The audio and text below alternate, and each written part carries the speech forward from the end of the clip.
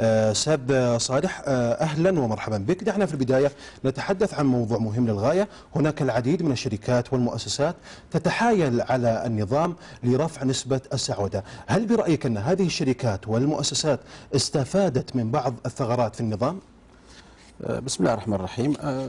يعني دعنا في البداية نتحدث على ما هو نطاقات. يعني لو سألنا الحقيقة المشاهدين الغالبية لا يعرف أو, أو يجهل آه، برنامج نطاقات لأنه جاء حقيقة بدون سابق إنذار أو بدون حملة إعلانية أو دعائية. فالإعلام أنا دائما أركز على أنه أي برنامج سنطرحه في الوطن يجب أن يكون هناك له حملة إعلانية داعية حتى يعرف المواطن في مدى هذا البرنامج أو تلك من سواء سلبيات أو إيجابيات. هذا البرنامج اللي هو برنامج نطاقات.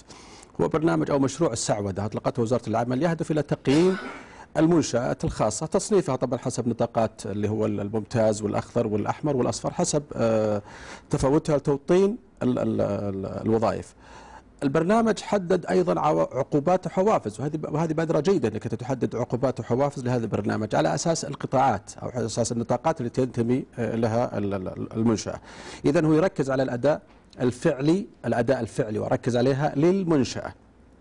المنشأة اللي تقل عدد آه، آه، موظفيها عن عشرة لا يدخل ضمن آه، برنامج أستاذ نطاقات. صالح في هذا الإطار هل برأيك أن هذه الشركات استفادت من هذه الثغرات المتواجدة في آه، برنامج نطاقات بالضبط يعني يعني إحنا مشكلتنا إنه ال- الغالبية حتى لا أعمم إنه نضع ال ال ال ال الأنظمة والقوانين السائله دون دراسة كاملة دون دراسة ال- ال- الفجوات التي ممكن من خلالها ينتهزها هؤلاء الانتهازيون وبالتالي يخلقون الفرص لتجاوز هذه الأنظمة والقفز على هذه ال- ولكن في جانب آخر أستاذ صالح عندما نرى ونشاهد آه، برنامج آه، حافز برنامج آه، يعني يمتلك شروط قوية آه، يعني من الصعب أن يتجاوزها أي شخص ولكن في برنامج نطاقات نرى عكس ذلك. يعني يعني خليني أقول لك أنا مثلا في في برنامج آه، ساهر. خليني أطلع شوية بس في جزئية بسيطة. برنامج ساهر وضع وتذمر منه الغالبية تذمر من برنامج ساهر. لكن ميزة ساهر انه انه إنه نادر الثغرات الموجودة فيه. يعني قد يكون 70% ناجح 70% ناجح. في ثغرات معينة. خليني أعطيها 30% لكنه وضع هذا البرنامج على أساس إنه لا يوجد هناك ثغرات كثيرة. أو هو في ثغرات لكن لا يوجد فيه ثغرات كثيرة. بر- برنامج وزارة العمل وزارة العمل جاءت على أساس ك- يعني كم هائل من من من من التراكمات في العمالة. يعني توطين السعودة إحنا نتحدث عن السعودة قبل عشرات السنين ولم تطبق هذه السعودة. كانت هناك يعني حلول وهمية حلول ورقية لم تطبق على ال- ال- الواقع. كنا نطالب في الإعلام في الصحافة كنا نكتب وكنا نجتمع أيضا حتى مع المسؤولين في وزارة العمل. آه، لا يوجد هناك حلول جذرية للسعودة لا يوجد هناك حلول جذرية للبطالة. كلها آه، تنظير. حينما جاء الآن برنامج الطاقات ووضع له زي ما قلنا حوافز وعقوبات إذا لم تطبق هذه العقوبات بصرامة إذا لم يتم تشهير المنشأة واسمه وصاحبها فلن ينجح هذا البرنامج. البرنامج نظريا جيد. نظريا كورق جيد كأنظمة جيدة مثله مثل ال- ال- الأنظمة الثانية. ولكن ربما ساهم آه، البعض يتحدث بأنه ساهم آه، غياب الوعي عند بعض المواطنين في تفاقم هذه المشكلة. بالضبط هي زي ما قلت أخوي أحمد انه إنه أنا لا أطبق برنامج أو لا أطبق أنظمة دون أن أعطيه زخم هائل من الإعلام، الإعلام يا جماعة الخير يجب انه يكون هو هو حلقة الوصل بينك وبين المواطن، الإعلام حلقة الوصل بينك وبين المتلقي، الإعلام هو حلقة الوصل بينك وبين الطرف الآخر ما تريد الإيصال إليه، لا تأتي لي فجاه وتقول والله أنا عندي هذا البرنامج أو هذه الانظمه بطبقها، أنا وش دراني؟ أنا كمواطن إني أنا متلقي، أنا وش دراني كمنظم، هذا واحد، اثنين أنا يجب إني أنا أقدم العقوبات قبل الحوافز. لأنه لدينا حقيقة يعني تجاوزات آه، يعني يعني أضرت بالوطن أضرت العقوبات ليست رادعة. ليست رادعة. أنا وليست كافية أخوي أحمد. العقوبات ليست كافية. أنا أنا مع التشهير. من من يطالب بعدم التشهير أنا ضده. أنا مع التشهير واقولها بالفم المليان. يعني إذا إذا إذا شخص يتلاعب باقتصاد الوطن وأبناء الوطن ويتلاعب بالسعودة ويتلاعب بالبطالة لماذا لا أشهر به؟ لا يكفي ان أنا والله يكتب والله آه، المنشأة سين عين اوقفت عن العمل لمدة خمس ست سنوات. طيب من هي هذه المنشأة ولماذا استغلت؟ أنا قبل قبل. فترة يعني محطة وقود محطات أحسنت. وقود سيارات آه، وجدوا إنه والله موظفين بنات. وكذلك شركات مقاولات. وشركات مقاولات. وصل فيهم التلاعب. ليه؟ لأنه من أساء العقوبة. اساء الادب من من من سلم من سلم. العقوبات من أمن العقوبة اساء الادب نعم. فبالتالي إذا ما هناك عقوبات رادعة جدا تجاه أي نظام يصدر لن ننجح في تطبيق الأنظمة. دعنا ننتقل إلى موضوع آخر وهو موضوع آه، القروض السكنية صندوق التنمية العقاري.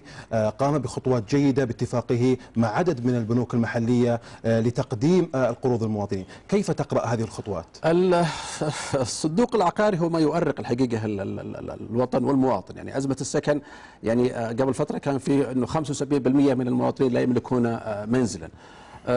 مع الأسف أقولها ب- ب- بالفم المليان انه أنه الإدارات السابقة لصندوق التنميه العقاري لم تؤدي دورها بالشكل الإيجابي حقيقة يعني هذه الإدارة الحالية آه، يعني خليني أقول انه انه أنه آه، كجزئية أنه ثقافة ال- ال- الفكر الإداري معدومة لدى غالبية الأجهزة الحكومية لدينا، هي ثقافة فكر إداري. مثلا أضرب لك مثال في الأحوال المدنية، كنا مثلا نروح نمسك سنوات وتجلس بالساعات عشان تطلع لك آه، بطاقة أحوال أو تضم ابنك أو بنتك في في هذا، لما جت إدارة جديدة وضعت أرقام واستفادت من التقنية وبالتالي الآن تروح إلى مج- 30 إلى 35 دقيقة وأنت مخلص إجراءاتك. ولكن رغم ما- تقوله أستاذ صالح نرى نحن في صندوق التنمية العقاري هناك جهود. رأينا الآن. آه، بعض المقترحات التي طبقت من خلال القرض المعجل آه، قرض ضامن القرض الإضافي. هناك جهود الآن, يعني. الآن هي هي فكر إداري يا أحمد هي فكر إداري. إذ- ال- الإدارة الحالية الآن وزارة الإسكان الآن لديهم أطروحات رائعة جدا لحل هذه الأزمة. لكن المشكلة أنه يعني آه، الشق أكبر من الرقعة. يجب على المواطن أنه يتحمل شوية الحلول موجودة. بدأوا في الحراك. الآن صندوق الت- صندوق العقاري آه، يفكر الآن أنه يكون بنك استثماري عقاري. جميل. هذا البنك الاستثماري العقاري لديه الحقيقة عدة آه، يعني هو هو أول شيء قناة آه، للاستثمار. هو قناة لعمل شركات عقارية عملية الاستحواذ هو أيضا يفكر في عملية الاستثمار الداخلي والخارجي. هو لديه هو وسيط أيضا. لديه أيضا استشارات مالية ممكن أن يقدمها من ضمن الحلول. لديه أيضا أنه ممكن يقدم آه، عي- عينات من من ال- ال- البناء الهندسي السليم. غالبية المواطنين من كانوا يسكنون بقصور ببيوت كبيرة جدا هاجروها يا أحمد والآن بدأت اللي هي البيت الاقتصادي. إحنا ينقصنا في المجتمع السعودي هو ثقافة المجتمع المعرفي ثقافة ال ال ال ال ال ال الاستفادة من السكن المفيد لك والاقتصادي بنفس الوقت. جميل. ما يقدمه الصندوق العقاري عشان أجيب على سؤالك هو هو حلول رائعة جدا، مجهودات جبارة جدا. يشكرون عليها. آه، فقط نريد الصبر، فقط نريد الم- المساندة من البنوك. البنوك يا أخي إحنا إحنا ماذا قدمت البنوك للمجتمع؟ البنوك عندنا تسعة وعشر بنوك ما قدمت شيء للمجتمع، لماذا البنوك تأخذ فوائد؟ يا جماعة الخير شاركوا لو بجزء بسيط، لو بهذه الجزئية شاركوا. أنت أستاذ آه، صالح تتفق مع آه، البعض الذي يقول آن للبنوك أن تقوم بدور تنموي بالضبط، يخدم الوطن بالضبط، والمواطن بالضبط. بينما نرى الآن آه، البنوك المحلية رغم ما تقوم به من خلال اتفاقها مع صندوق التنمية العقاري إلا أنها تتمسك بهذه الفوائد بالضبط يعني يعني البنوك لو تجي للخدمة الاجتماعية لخدمة الوطن والمواطن رؤساء مجالس الادارات في البنوك البنوك أنفسهم مليارات يكسبون ولكن لم يقدموا للوطن وشيء حتى هذه الجزئية في الصندوق العقاري الآن يحاول يحل هذه الجزئية الإسكانية ويحاول يشارك الوطن والمواطن فيها لم تتنازل هذه البنوك ولو بواحد بالمئة من آه، الفوائد اللي مقدمها. الآن البنك الاستثماري أو بنك التنمية العقاري هو يقوم بدور وسيط ويقوم بدور ضامن كفيل للرهن العقاري يقوم بدور إنه يقدم القرض الحسن وهذا يمكن هو يساعد إنه هو البنك الوحيد اللي يقدم هذا القرض الحسن للمواطن حتى يعني عملية تعجيل تنمية ال ال ال ال ال الاقتصاد المحلي وتنمية الثروات اللي مسكو ال ال الناس اللي ماسكة من ما خلفته الإدارات السابقة من الصندوق هو الآن العدد هائل جدا والكم هائل جدا. في فتحت فتحت ال- ال- ال- التقديم بدون أرض كانت تذكر في رجب عام 32 فتحت التقديم بدون آه، بدون أرض. آه، خادم الحرمين الشريفين أيضا ما قصر. وهناك دعم 40 مليار للصندوق. هناك قرض أيضا 3 مليار على أقساط آه، سنوية. كل هذه الموارد المالية استثمارات البنك أيضا البنك الاستثمار العقاري كلها موارد يستطيع البنك من خلالها تنفيذ البرامج الم- المعدة على أساس أنه تقلص الأعداد الانتظار وتساهم في حل أزمة الإسكان عندما نسلط الضوء آه، حول هذه البرامج التي يقدمها صندوق التنمية العقاري هل برأيك أن هذه الخطوات سوف آه، تسهم في إنهاء آه، قوائم الانتظار؟ ستسهم وأيضا يفترض إنه إحنا نتساعد كلنا. هي حلقات يعني حلقات آه، يجب أن تكون مترابطة. لا, نعتمد على صندوق ال- ال- العقاري فقط. الصندوق هو هو سيكون بنك استثماري اذا شركات التمويل العقارية لها دور كبير إن هي تتنازل وأنها تساعد. بدل ما تأخذ أرباح هائلة تحاول تقلل من ارباحها البنوك يجب أنها تشارك وتساعد بشكل فاعل جدا. آه، الشركات العقارية بناء الوحدات السكنية. إحنا ينقصنا الكامباوند ف- فكرة ال compound غير غير موجودة. فكرة الاستثمار في لل- هذا هذا ما نشاهده نشاهده الآن آه، ما تقوم به وزارة الإسكان. هناك من خلال إنشاء الوحدات السكنية. هل برأيك آه، دور آه، صندوق التنمية العقاري إضافة إلى وزارة الإسكان وأيضا البنوك سوف يسهم في حل هذه المشكلة؟ ال- ال- البنك المقترح بنك الاستثمار العقاري سيكون صانع للسوق يا أحمد في المستقبل في في ظل وجود يعني وجود نسميها نسميها البنوك ال- ال- التمويلية نسميها الشركات التمويلية. سيكون هو صانع للسوق سيقدم اقتراحات عديدة. الموجودات اللي قاعد يسويها صندوق ال- ال- العقاري والبنك العقاري جيدة جدا لكن يجب أنه تتعاون هذه الجهات الأخرى في تقديم أيضا هذه الأزمة المؤرقة للوطن والمواطن. يجب أنه يكون هناك حلقات. يجب يعني حقيقة واعيد وأكرر أن البنوك المحلية تساعد في حل أزمة السكن. يا جماعة الخير الآن هو دوركم. اعطونا شيء إيجابي. خلونا فعلا نحس أنكم أنتم هالمليارات اللي تكسبونها من البلد انكم أنتم تنفعون البلد. يعني عشرات السنين ونحن نطالب يا جماعة الخير دوركم أنتم يا هالبنوك ولا حياه لمن تنادي. يعني إذا ما شاركتوا الآن في هذه الأزمة فأنا أعتقد أنكم لن تشاركون في أي إيجابية فمعناته راح تظل السلبية موجودة في هذه البنوك تظلوا يعني. لا, لا نعتمد فقط على صندوق التنمية العقاري ولا نعتمد فقط على أنه والله هذا البنك ال- ال- الذي يقدم الآن حلول جذرية.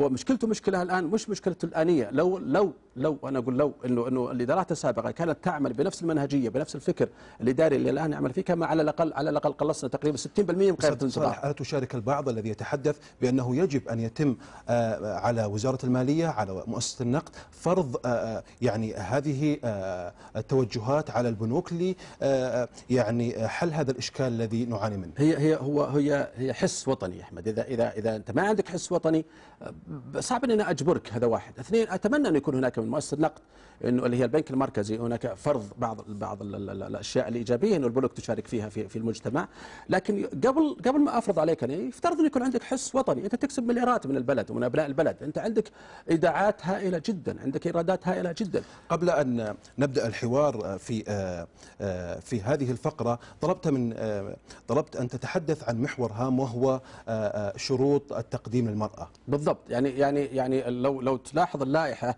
اللي كانت سابقا موجودة في صندوق التنمية العقارية تلاقي شروط تعجيزية الحقيقة للمرأة.